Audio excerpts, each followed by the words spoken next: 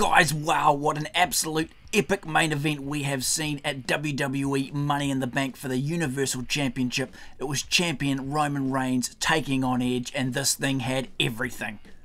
We had Seth Rollins interfering at the end of this one, and we even had a massive return by John Cena himself, but we'll get to that in just a minute.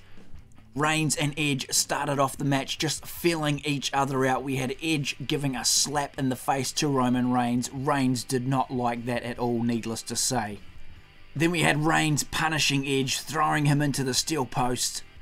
And a lot of trash talking from Reigns to go along with that. We even had some you can't wrestle chants to Roman from the crowd at one point.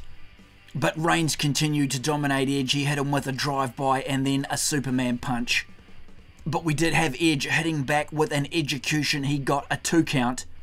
And then with both men on the outside, we had Reigns missing a spear and going through the barricade. And then Edge ended up spearing Roman once again through the barricade. So a double beatdown there for Roman. Back in the ring, we had the ref getting taken out by a Superman punch.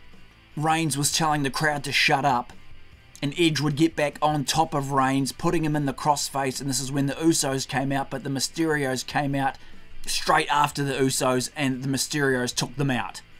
But then we had Seth Rollins coming out, and with Reigns in that crossface, he kicked Edge in the head, breaking the hold.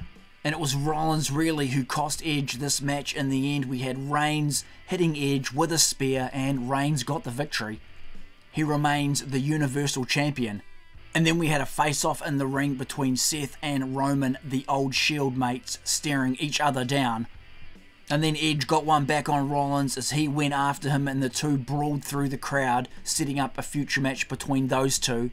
And then it happened. Roman Reigns, he was in the ring with the mic, and he said, Now the whole world can acknowledge me. And with that, John Cena's music hit, and he is back. And the crowd reaction for Cena was phenomenal.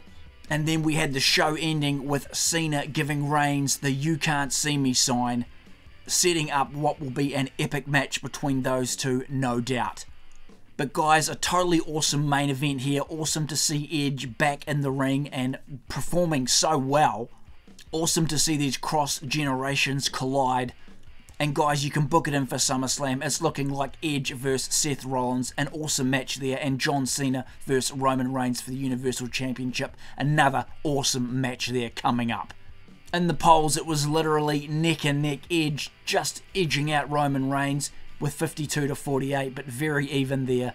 And it was a very even match and an awesome match. So thanks guys for tuning in, and we'll see you at SummerSlam.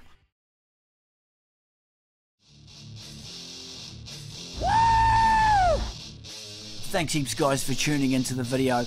Be sure to drop a scorpion death drop on that like button and subscribe to the channel for more awesome pro wrestling action from the WWE, the WCW and much more.